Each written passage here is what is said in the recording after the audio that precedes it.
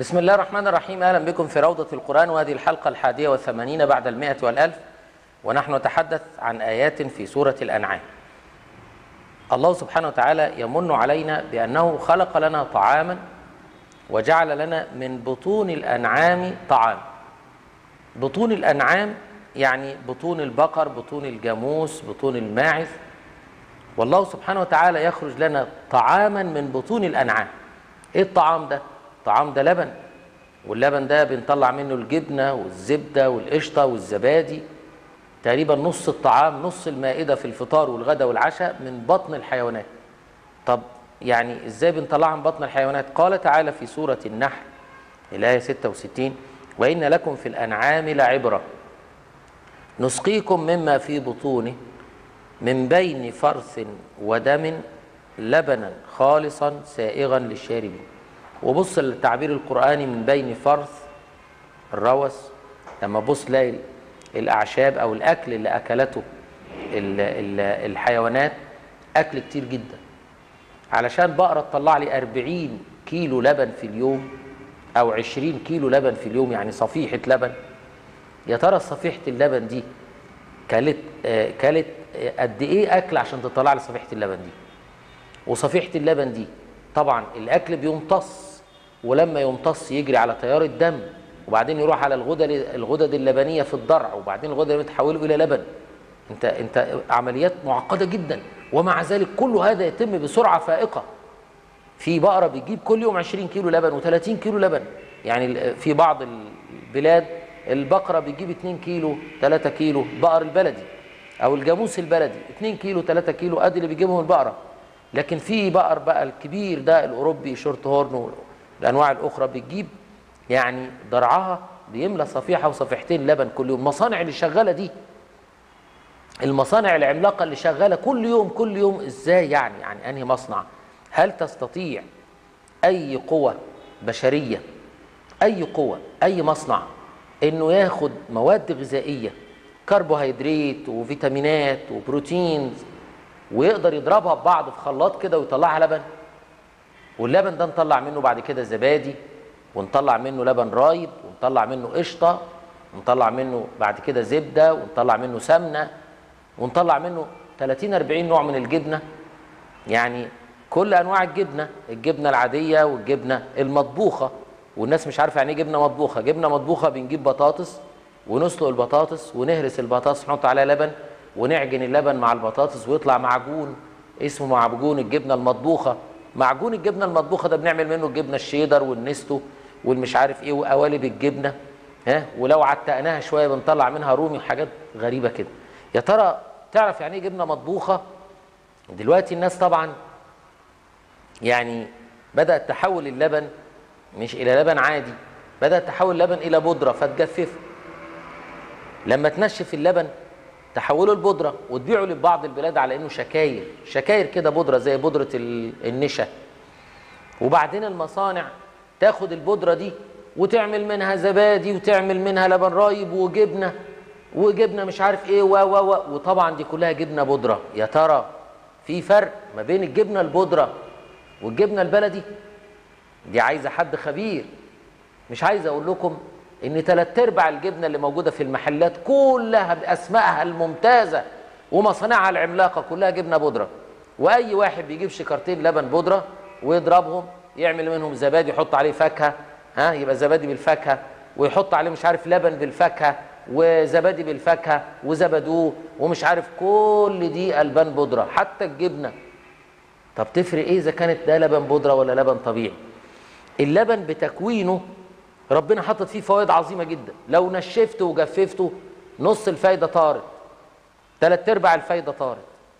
ثلاث أرباع الفايدة طارت في الشرش حتى المادة المتبقية من اللبن بعد الجبنة. الشرش نفسه السائل اللي بيتبقى بعد الزبادي السائل ده مفيد جدا. مليان أيونات وأملاح معدنية وفيتامينات. السائل بتاع الزبادي ده.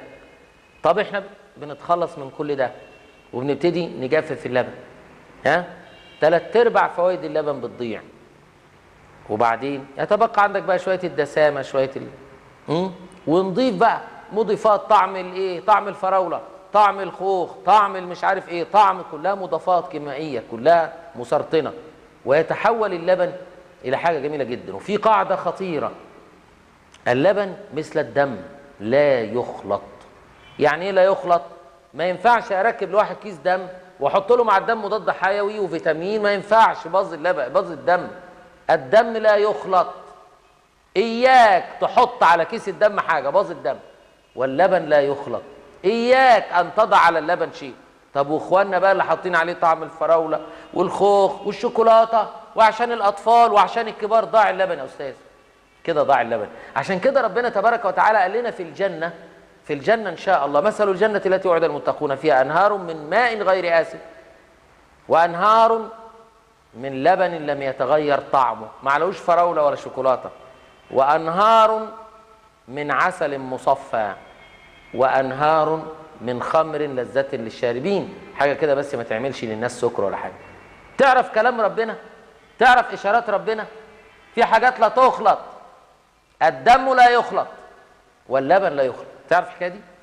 طب إحنا بقى عندنا كل المصانع بتخلط تخلط كلها مسرطنة كلها مواد مسرطنة. من أول حموضة المعدة للفشل الكلوي للفشل الكبدي للسرطان. وعاوزين اللبن بالشوكولاتة واللبن بالفراولة واللبن بالمانجا كل ده لا يجوز ما ينفعش. اللبن لبن. مش عاجبني لبن؟ آخده زبادي بلدي طبيعي. عاوز فاكهة خد فاكهة. عاوز عصير طبيعي خد عصير طبيعي. مواد حافظة لا مكسبات اللون والطعم لا. عشان كده ربنا بيقول وإن لكم في الأنعام لعبرة. نسقيكم مما في بطونه من بين فرس ودم لبنا خالصا عليه شوكولاتة وفراولة لبنا خالصا سائغا للشاربين. معلوش حاجة. وفي اتنين ما يتخلطوش لا اللبن ولا الدم. ممنوع. مين يفهم كده؟ وإحنا عندنا علماء يقدروا يقولوا كده؟ انت عندك عالم يقدر يقول كده؟ فعشان كده آية واحدة عايزة مصانع. كيف ينتج اللبن؟ إزاي تتحول الأعشاب والنباتات في بطن الحيوانات وتمتص وتحول إلى لبن غني بالكربوهيدرات والفيتامينات والبروتينات والامينو الأمينو أسيدز وحاجه اسمها الأملاح المعدنية. اللبن ده غذاء كامل. عارف يعني غذاء كامل؟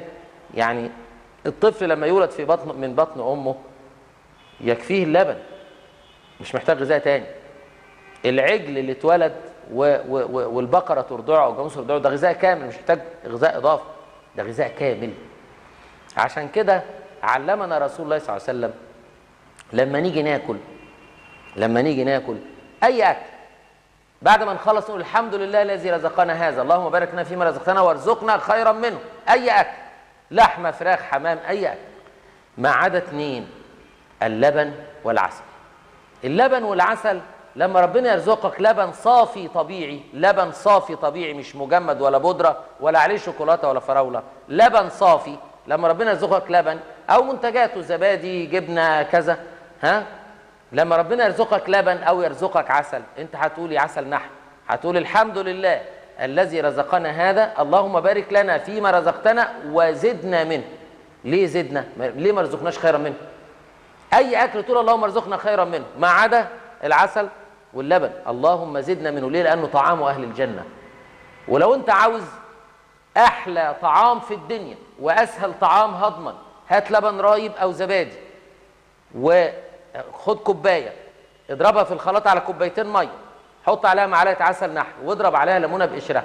ده أعظم طعام على وجه الأرض وأبسط طعام على وجه الأرض وأسهل هضما وامتصاصا. كوباية زبادي أو لبن رايب معلقة عسل ليمونة بقشرها اضربهم في الخلاط واشربوا. زبادي خلاط ملوش حل. هضما وامتصاصا. إن شاء الله نلتقي في حلقة قادمة. شكرا لكم والسلام عليكم ورحمة الله وبركاته.